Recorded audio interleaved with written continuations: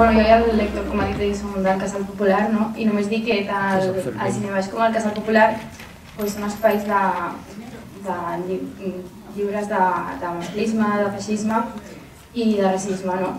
I també tots dos som autogestionats, com el Cinebaix autogestionats per voluntaris, no? I, i això, que treballem plegades pues, per poder convidar a reflexionar sobre aquests temes que, pues, que és important. Avui presentem la pel·lícula de Fermín, La Guinversa, una pel·lícula en un context antiracista i és important en la nova de racisme, feixisme que estem vivint a Sant Feliu, una pel·lícula per reflexionar. I, bueno, no res més a dir. Fermín, que ricasco, ongi etorri, i ja explicat tu el resto. bueno. ¿Y tú? ¿Tú, tú no, ¿Tú no parlaràs? Has parlat ja? Home, ja, ah, sí? Vale, vale, vale. Bueno, bona tarda, Sant Feliu. Estic supercontent d'estar aquí. Parlar en català, si hi ha algú que no, que no compré, que jo puc parlar també en castellà. I eh, vaig venir l'any passat a, a Sant Andreu, el poble que, on vaig vi, viure per eh, tres mesos. Jo vaig des, decidir de començar a aprendre la llengua i és per això que, que ara puc comunicar. Faré molts errors, però, però jo crec que és més important de, de fer errors però parlant en, en la vostra llengua, que ara mateix és la, la meva pròpia també.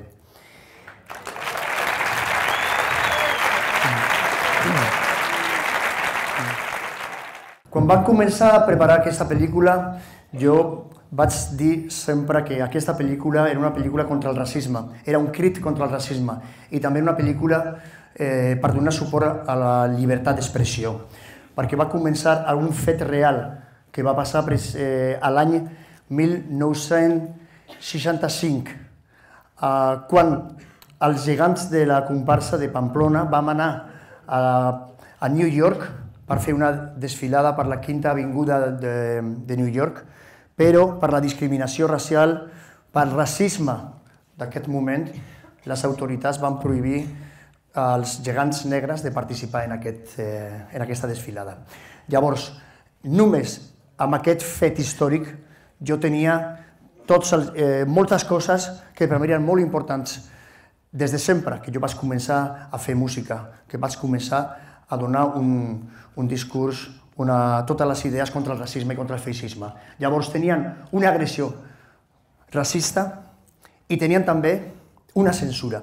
Una censura de no, eh, de no deixar ballar als gegants negres, a nosaltres, els bascos, que vam anar a New York en aquest moment.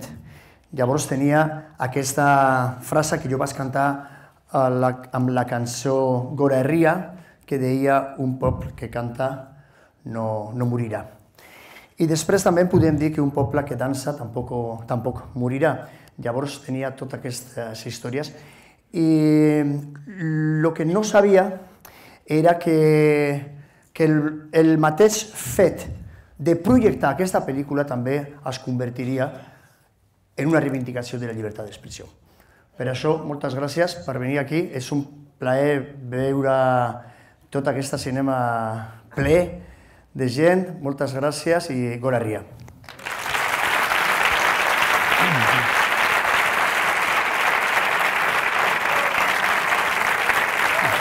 Després estarem. Valeu.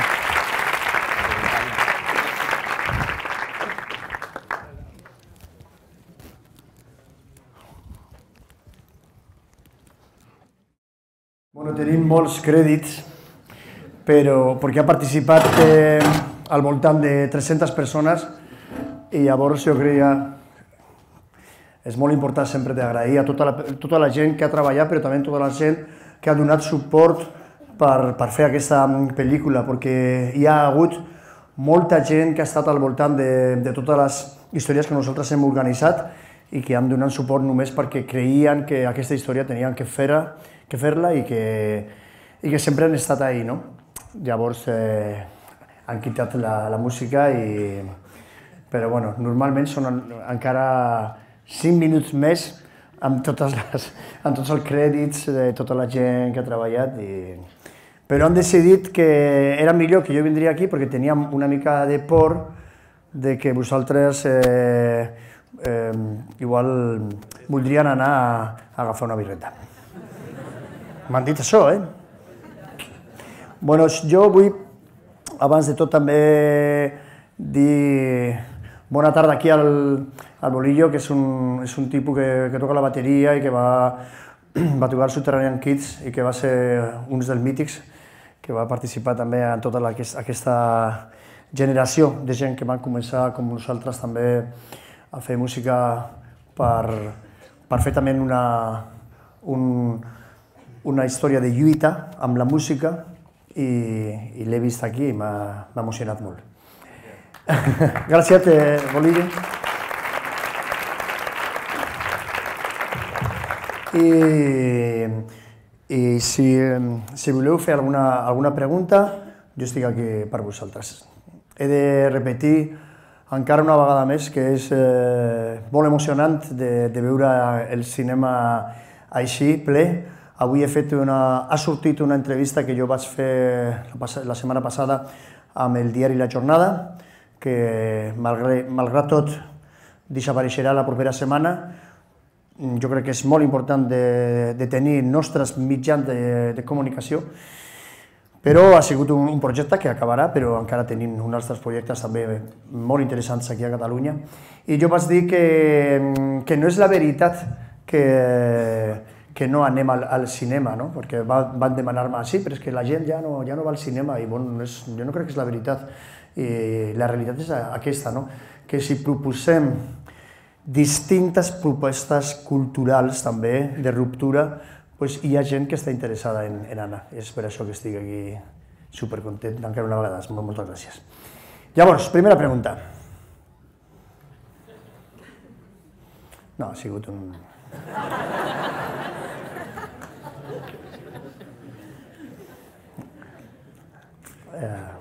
era per, per trencar el, així, la tensió la tensió emocional, sí.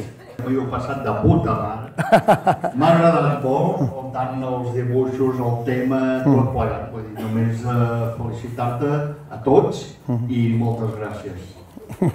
A tu, moltes gràcies a tu.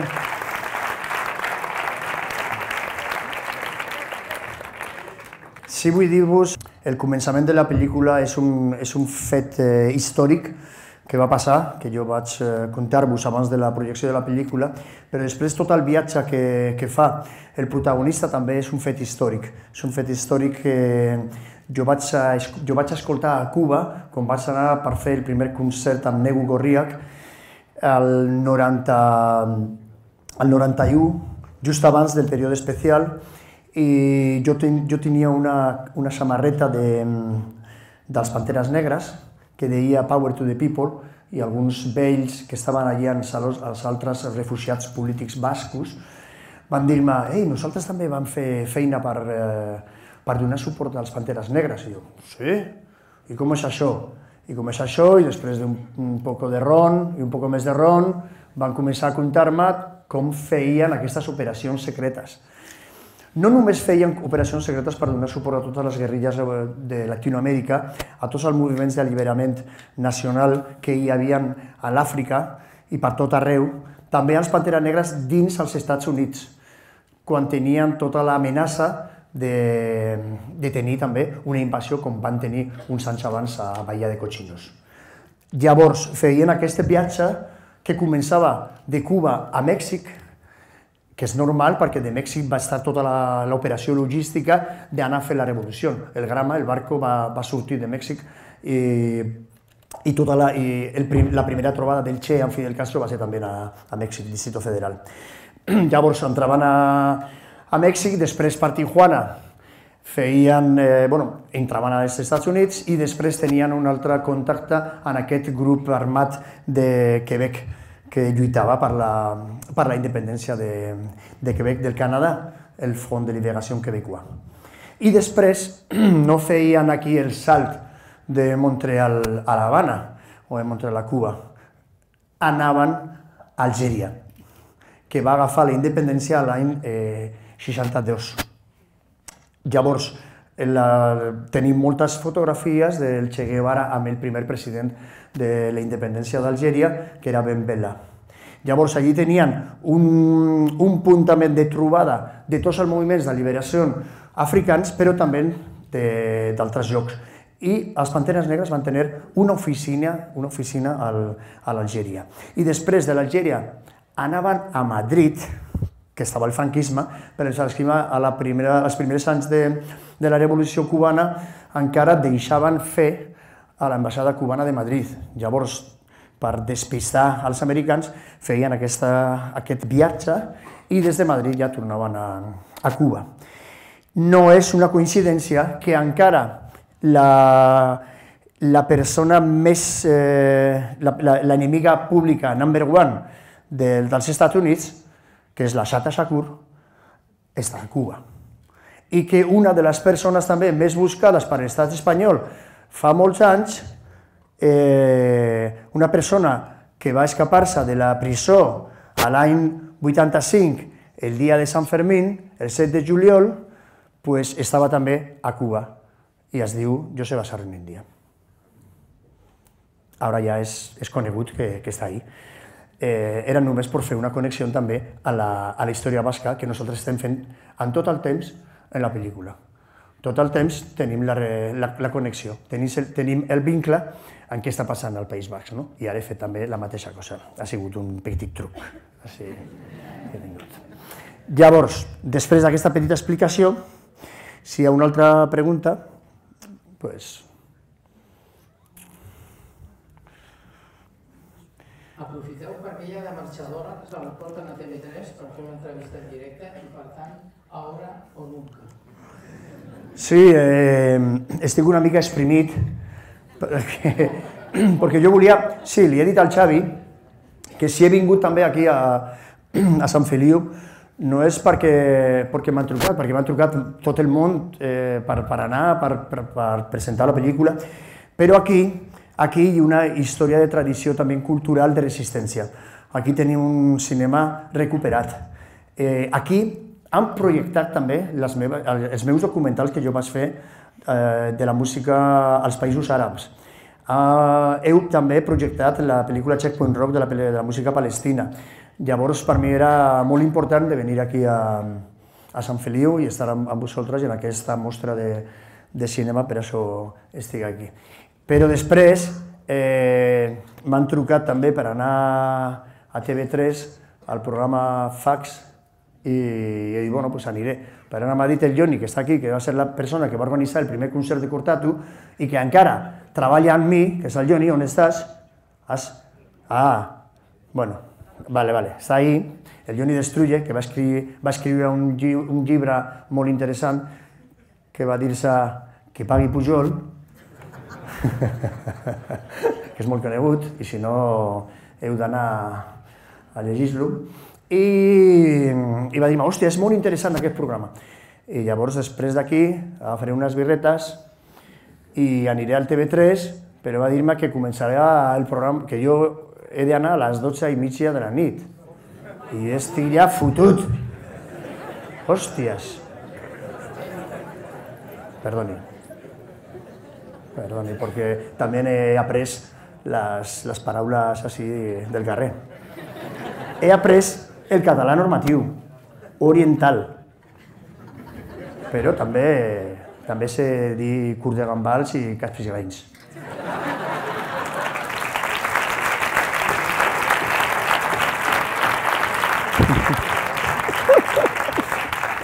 Sí, quan parlava dels reis espanyols, jo vaig dir-li al Joni, però com he de dir, com, com, com, com puc dir que són, que són curs de gambals?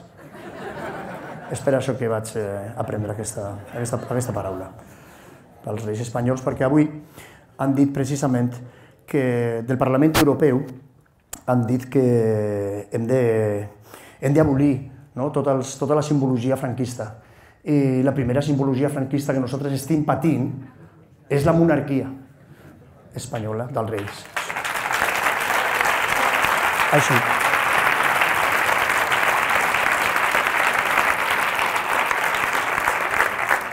Llavors, com no hi ha més preguntes, us proposo una cosa, vosaltres eh, m'acompanyareu una mica en una, en una, com és? un aplaudiment, és un aplaudiment tots junts, però és un, així, així. Vos he de fer així i jo després, bé, sí. Contato di te, Nova York, eh, no, no. Però tots junts, hòstia. És que després si em parlen què passa en el procés, doncs passa això. Heu de fer l'aplaudiment tots junts, sisplau. Així, així. Kontatu te, Nova Yorken, Broadway eta hogeita zei karrikaren kantoian. Negu gorrian gizon bate gauero jendeari otoi eskatzen, aterpea bilatzen duela bilutsirik dauderentzat. Mundua ez dara hortan aldatzen. Ez, gizonen hartu emanak ez dira hobekitzen. Ez, zama aroa ez dola laburtzen. Ez, baina gizon batzue gau batez. Oia dute, aterpea naize hotzik ez, eta bereri, zi joakin erurra, karrikan, ari da. Liburuaren irakaspenik ez ahaztu, gizona. Per acabar només, he fet un poema de Bertolt Brecht que va musicar Miquel Aboa.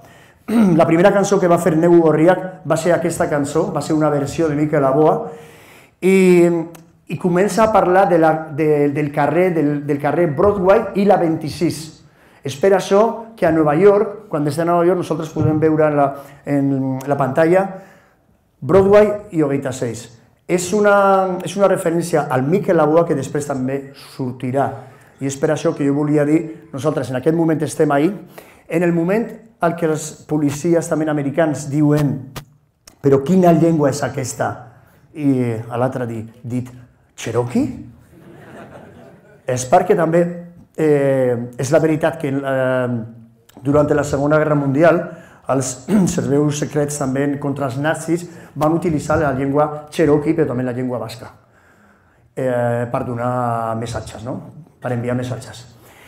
I el Miquel Aboa feia també unes, unes peces instrumentals, experimentals, de les seves composicions i es diuen eh, Cherokees. I el disc d'homenatge al Miquel Aboa, on Neu Gorriac va posar la primera versió, va ser també Cherokee. És ja, és ja una mica ja profunda això, però per gent que coneix el País Basc. I al final tenim també el tòtem de la música basca, que va ser Miquel Aboa també. Nosaltres diuen que no, no hi ha generació espontània. Nosaltres venim d'algun lloc i venim d'aquest lloc, d'aquesta resistència cultural que vam fer abans que nosaltres, unes altres com el Miquel Aboa. I és per això que aquest, aquest homenatge, homenatge és el Miquel Aboa, que va estar censurat, nosaltres estem censurats, hem estat censurats, i probablement la propera generació també estarà, estarà censurada. Igual la següent no. És per això que aquí hem fet aquest homenatge en aquesta cançó que diu Apur de sagun catea, cantar de sagun batea. Hem de trencar la cadena si cantem tots junts. Moltes gràcies.